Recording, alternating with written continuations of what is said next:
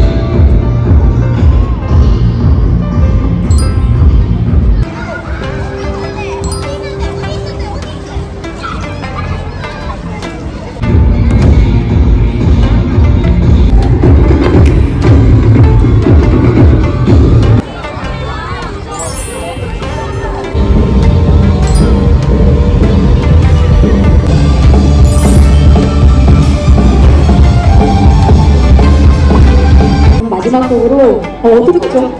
이 노래 준비되어 있습니다.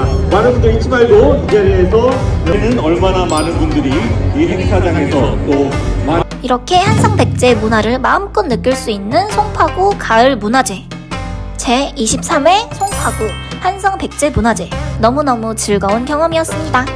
안녕!